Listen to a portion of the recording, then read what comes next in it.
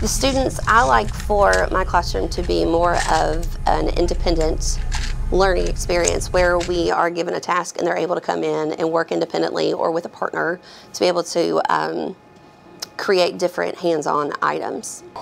So when we got the robot, it was just a box of parts and we first made the robot that came with the like the build instructions and she sent a photo to one of the judges, Miss Brooke did, and he said that's the wrong robot. And so we had to take it all apart and build this one.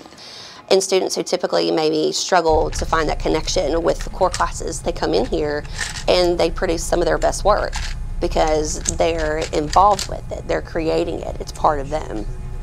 So like mechanical engineers design cars, mechanical engineers work on airplanes, um, anything that moves.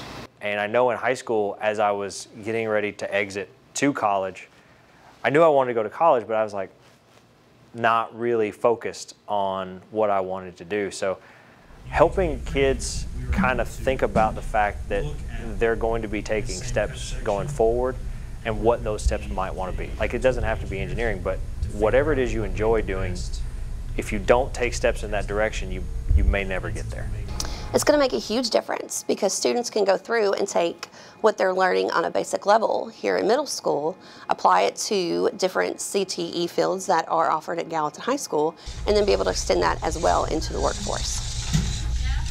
Yep.